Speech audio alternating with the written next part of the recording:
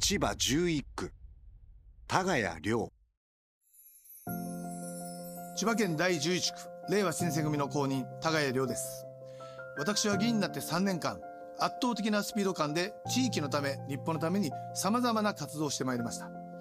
例えば当選後1週間で30年間凍結していたいすみ市から御宿に抜ける道路整備も国と県に働きかけ本年度より工事が着工されます。また野党にもかかわらず私が提案した制度が国の政策に採用されました。そして初当選から半年で消費税の減税法案を立案し野党4党で提出。地域においては JR 永田駅のトイレ閉鎖問題や通勤快速の廃止などを斉藤国交大臣にいち早く訴えその後の利便性の改善につなげました。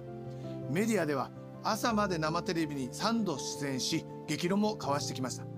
このように新人でもやればできることを証明してまいりました。2期目の挑戦互いように皆様の一票をお願いします。